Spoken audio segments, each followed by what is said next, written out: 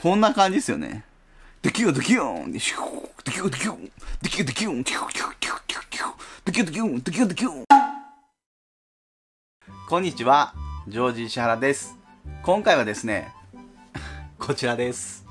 こちらのトミカハイパーレスキュードライブヘッドサポートビークルブリッツジェットファイターこちらを紹介したいと思います。こちらは何と言っても気になるのがこのハイパーショットガンですよね。ではパッケージから簡単に見ていきます。パッケージはこんな感じになっています。こうですね。そしてこうです。あ、結構かっこいいっすね。うん。他のドライブヘッドと組み合わせてもかっこよさそうですね。なんかかなり羽っていうんですかね。翼が大きくなった印象なんですけど、どんな感じなんですかね。あー、わ、すごいちょっと待ってください。でかっ翼でかいっす。これはすごい。まあ、そして、まあ、こんな感じで入っていました。すごいっす、これ。大きい。いや、これはすごいっす。そして、そしてこちらがシンクロバッジになります。まあ、こんな感じになっています。そしてこちらがシールになります。あと説明書と、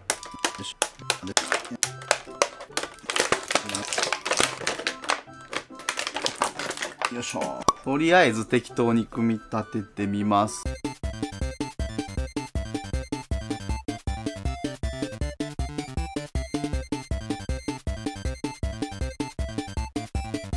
はい、えー、できました。こんな感じになります。これは、これは大迫力の飛行機というか、すごいっすね。もう戦闘機ですね、これは。うわー。ごっついです。ていうか、この、後ろのこの足のパーツなんですけど、ここからこの大きなバーニアンが、バーニア？バーニア？このね、噴射ノズルっていうんですかね。ここからブーっとこう出るんだと思うんですけど、これすごいっすよね。大きいっすよね、すごい。で、あとこの腕のパーツについてるバーニア。これがすごいっす、これ。もうなんていうんですか。あのガンダムレベル。とんでもなく速く飛ぶんじゃないですか、これ。シール貼れました。こんな感じになります。やっぱりシール貼ると、かっこいいですね。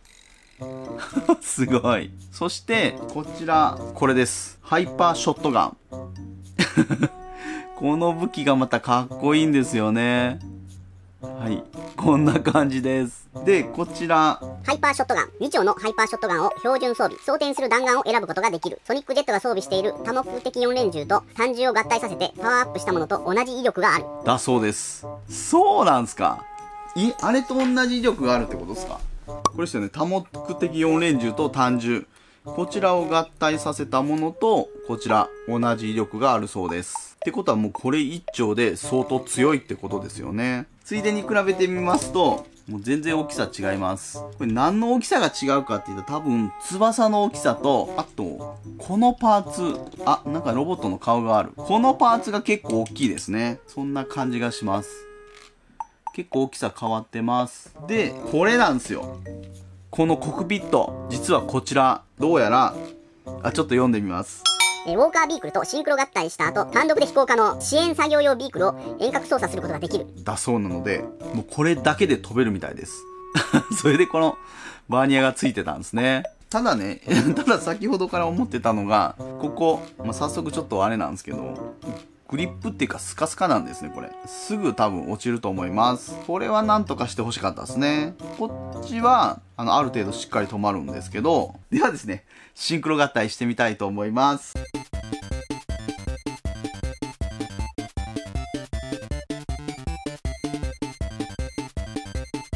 これデビルマンの羽みたいですね。でかい。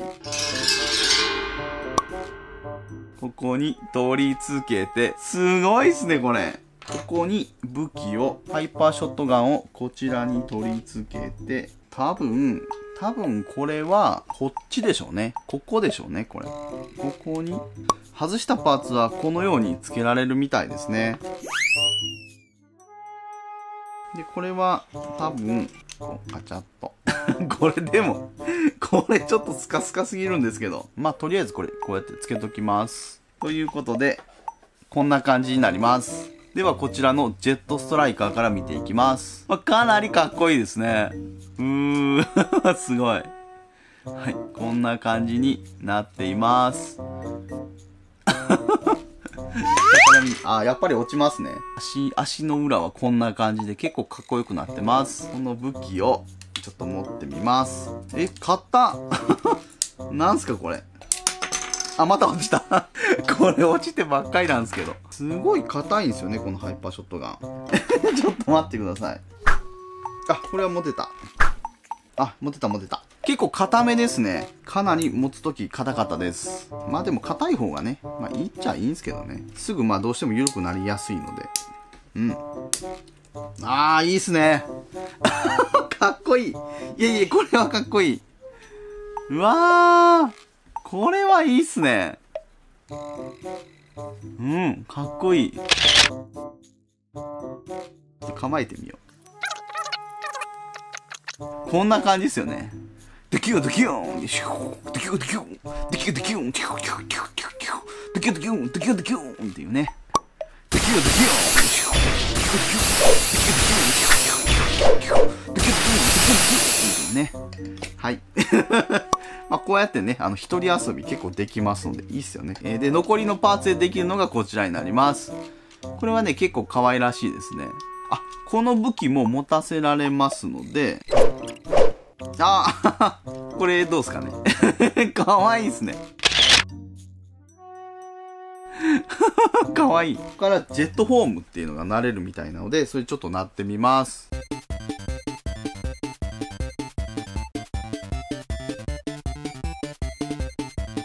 あー、これもいいですね。かっこいいですね。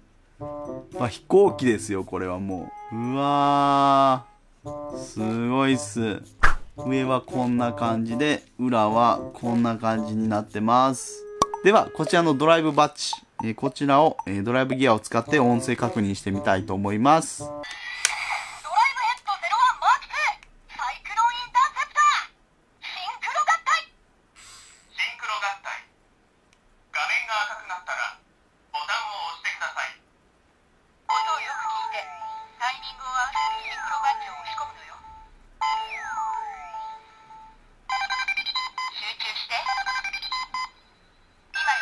Huh.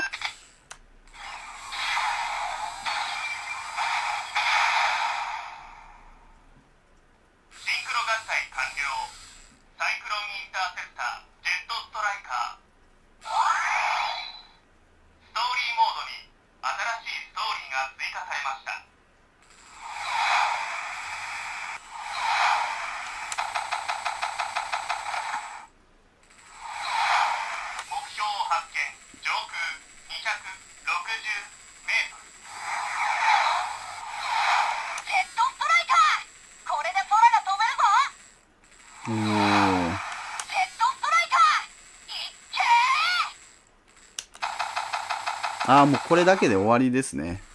はい。いかがだったでしょうか？今回は、こちらのトミカハイパーレスキュードライブヘッドサポートビークルブリッツジェットファイターを紹介して遊んでみました。まあ、結構いいですよね。形的には相当かっこいいと思います。ただちょっと今回、ちょっと言わせていただきますと、ここですね。ここの取り付けがかなり甘いような気がします。個体差もあると思うので、これ何とも言えないんですけどね。まあ、ジョージ・石原の持ってるこれだけが、まあ、緩いのかもしれません。ただまあ、それ以外はこの形はすごいなと思いました。うん。とにかくかっこいいです。この羽がね、いいんですよね。羽の大きさ。